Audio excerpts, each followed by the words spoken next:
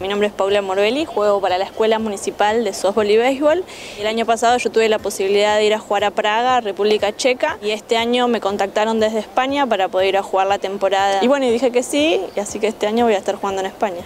Encima este año se me dio con mejores posibilidades, el pasaje de avión me lo pagan ellos, me pagan hospedaje, me pagan comida, me consiguen un trabajo, entonces como prácticamente ser un profesional y vivir de eso en este deporte es un sueño hecho realidad. Verazatí tiene esa política que a través del deporte, eh, la inclusión de los chicos al deporte es para mí la mejor política que se puede aplicar y uno cuenta con entrenadores que son pagos por la municipalidad y que el municipio te apoye desde tantos puntos eh, es para uno excelente. Ya te digo, el entrenador que nosotros tenemos, eh, para mí es el mejor. Yo hablo siempre con los chicos, ustedes vienen acá porque les gusta y porque aman esto y la constancia, la disciplina, el trabajo es lo que hace que uno se forme como deportista y como ser humano. Las cosas que te da el deporte hace que vos el día de mañana puedas hacer lo que quieras y con el simple hecho de proponértelo.